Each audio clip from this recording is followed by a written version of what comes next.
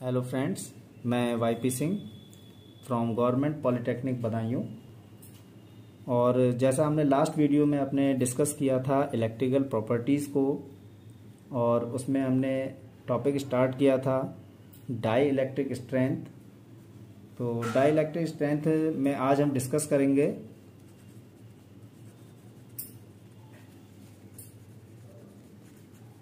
Dielectric strength A S T M D one four nine इस test में हमारे sample की प्रिपरेशन हम किस तरह से करते हैं? स्पेसीमैन और सैंपल प्रिपरेशन सैंपल की प्रिपरेशन करने के लिए हम कोई भी जो मटेरियल हमारा है, जिसकी हमें सैंपलिंग करनी है, उसकी एक सीट फॉर्म करेंगे और सीट में से हम क्या करते हैं? फोर इंच लेंथ की एक स्ट्रिप या जिसको हम फ्लैग कहते हैं।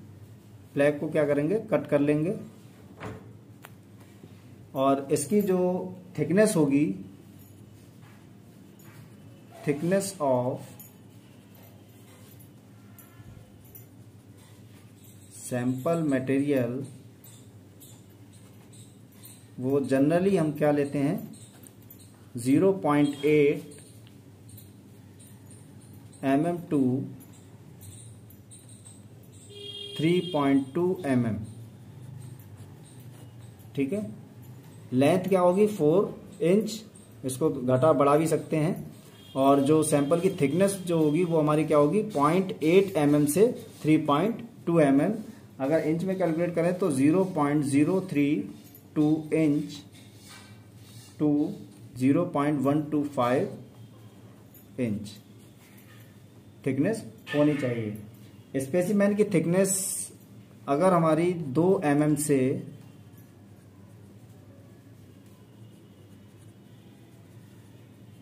अधिक होती है तब हम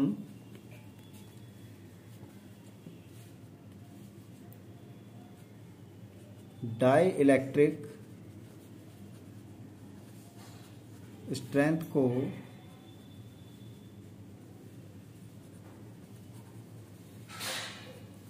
इक्विपमेंट द्वारा ऑयल का यूज़ करके मेजर करते हैं। ठीक है? तो हम क्या यूज़ करेंगे? ऑयल अगर थिकनेस जो है वो टू एम mm से अधिक है तो हम क्या करेंगे? ऑयल का यूज़ करेंगे। ऑयल का यूज़ इसलिए किया जाता है जिससे कि जो मटेरियल में ब्रेक डाउन से पहले ब्रेक डाउन से पहले फ्लैश ओवर के चांस जो हैं, वो क्या हो जाएँगे हमारे? कम हो जाएँगे। ठीक है? इसलिए हम क्या करेंगे? टू एम mm से अधिक अगर थिकनेस होगी तो ऑयल का यूज़ करेंगे, जिससे कि फ्लैश ओवर के चांस कम हो जाए। अब बात करेंगे इसके प्रोसीजर की।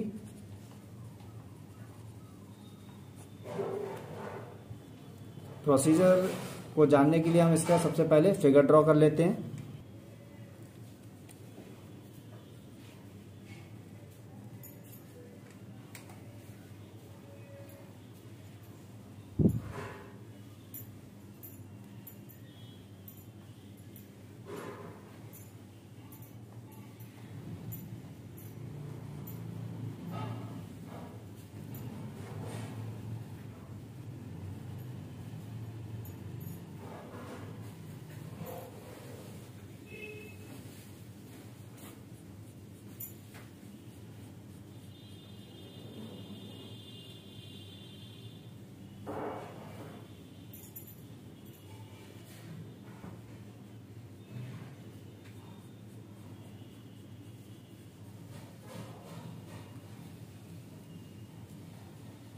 ये क्या लगे हुए हैं? दो इलेक्ट्रोड जैसा कि हमने डिस्कस किया था।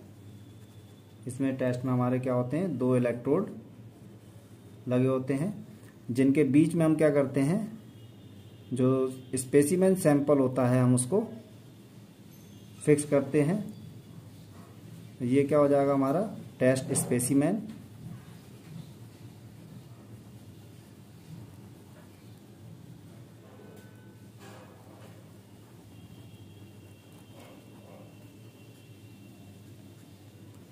टेस्ट स्पेसी में।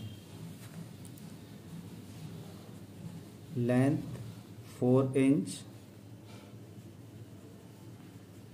और थिकनेस हमारी क्या रहेगी? Zero point eight two, three point two M M ठीक है? इस टेस्ट को करने के लिए दो मेथड मेथड होते हैं हमारे, शॉर्ट टर्म में। फ़र्स्ट है हमारा शॉर्ट टर्म।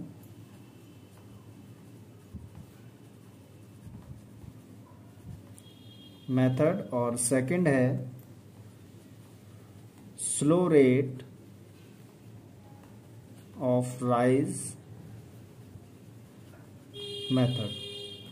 तो दोनों ही मेथड हमारे जो है इसी ऑपरेटर से हम कर सकते हैं, जिसमें पहला मेथड जो है, शॉर्ट टर्म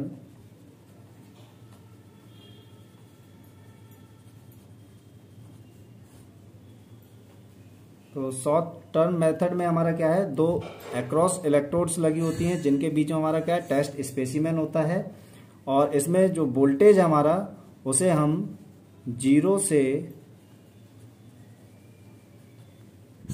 मैक्सिमम वोल्टेज तक राइज करते हैं और जो मैक्सिमम वोल्टेज है उसको हम राइज कैसे करेंगे? एक यूनिफॉर्म रेट से वोल्टेज को राइज करते हैं। और वोल्टेज हमारा कब तक राइज होगा? जब तक सैंपल मटेरियल ब्रेक डाउन ना कर जाए। ठीक है? और इसमें जो वोल्टेज राइज करने की जो रेट होती है हमारी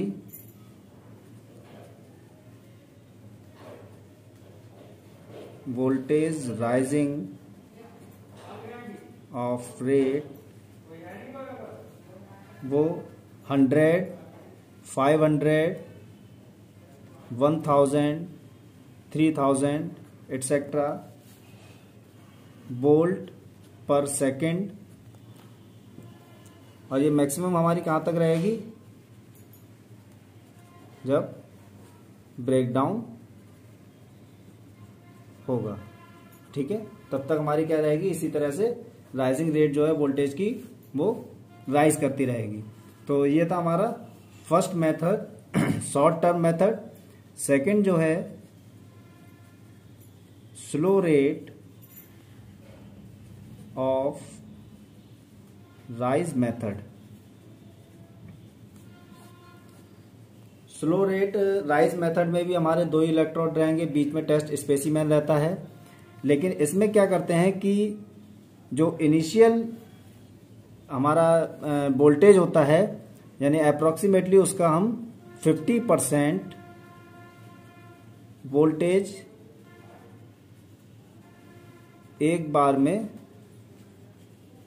अप्लाई करते हैं। ठीक है? तो 50 परसेंट वोल्टेज एक बार में अप्लाई कर देते हैं। इसके बाद में क्या है? वोल्टेज इंक्रीज किया जाता है। एक यूनिफॉर्म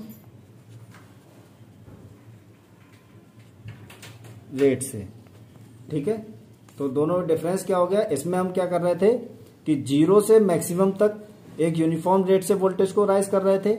और यहाँ पर क्या है कि उसका हमने 50 परसेंट वोल्टेज क्या किया, एक साथ अप्लाई किया है। और उसके बाद में हम क्या कर रहे हैं वोल्टेज को एक यूनिफॉर्म रेट से इंक्रीज कर रहे हैं। और ये इंक्रीजमेंट हमारा कब तक रहेगा? जब तक कि ब्रेक डाउन ना हो जाए। ठीक है? तो ये था हमारा डाई इलेक्ट्रिक स्ट्रेंथ टेस्ट